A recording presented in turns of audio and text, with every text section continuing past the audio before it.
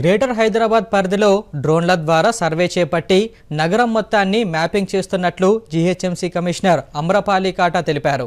ఇందుకు గాను geographics information system జీఐఎస్ను ఉపయోగిస్తున్నట్లు తెలిపారు. జీహెచ్ఎంసీ ప్రధాన కార్యాలయంలో ఆమె అధికారులతో జరిపిన సమావేశంలో మాట్లాడుతూ గ్రేటర్ హైదరాబాద్లోని ప్రభుత్వ భూములు రహదారులు చెరువులను డ్రోన్ ద్వారా సర్వే చేసి వాటికి సంబంధించిన వివరాలను నమోదు చేస్తామన్నారు. పట్టణ ప్రణాళిక వనరుల నిర్వహణను మెరుగుపరచడమే దీని లక్ష్యమన్నారు. ఈ సర్వేలో ఎలాంటి అపోహాలకు తావలేదని సర్వే వివరాల ఆధారంగా ఆస్తి పన్ను పెంచబోతున్నారన్న ప్రచారంలో నిజం లేదని స్పష్టం చేశారు. నగరవాసులకు ఇప్పుడు అందుతున్న వసతులతో పాటు నాణ్యమైన వసతులు అందించేందుకు పైలట్ ప్రాజెక్ట్గా సర్వే చేస్తున్నట్లు వివరించారు. డ్రోన్ సర్వే ఆధారంగా మ్యాప్లను సేకరించి వాటికి అనుగుణంగా ప్రతి ఆస్తికి డిజిటల్ అడ్రస్ ఇవ్వనున్నట్లు అమ్రపాలి వివరించారు.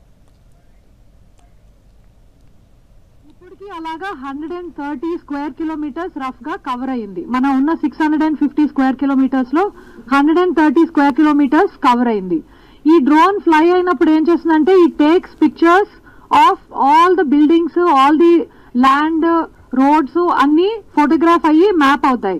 దీంతో మనకి high quality photos we get of what is happening in the city దీని ముందు మేము already full satellite we high resolution maps already procure చేసి పెట్టుకున్నాం.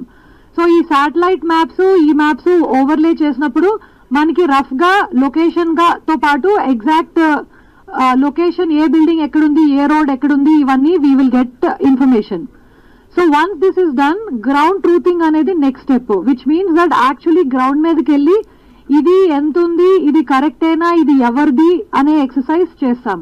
ఈ రోడ్డు ఎప్పుడు వేశారు? ఎంత మనీ స్పెండ్ అయింది?